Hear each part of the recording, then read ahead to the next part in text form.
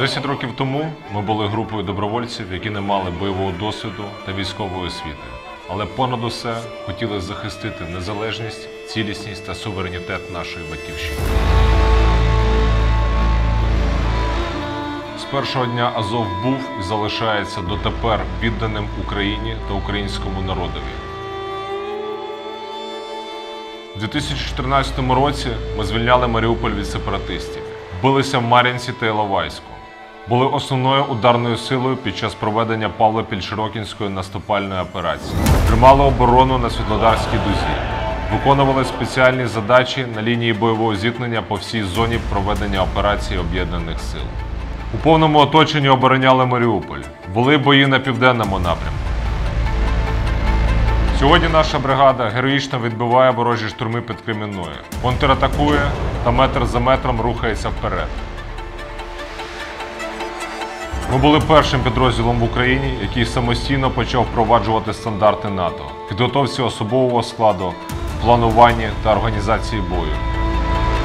Ми дотепер невпинно тренуємося, вчимося та самовдосконалюємося. Сьогодні Азов це один із найбоєздатніших підрозділів в Україні. Ворог щодня відчуває на собі професіоналізм та силу наших бійців. На цьому тернистому шляху ми втрачали наших бойових побратимів, справжніх воїнів, чий вибір та вчинки були присвячені одній меті свободі України. Ми помстимося за всіх та кожного. Про це говорить наша праця на фронті та втрати, які несе ворог.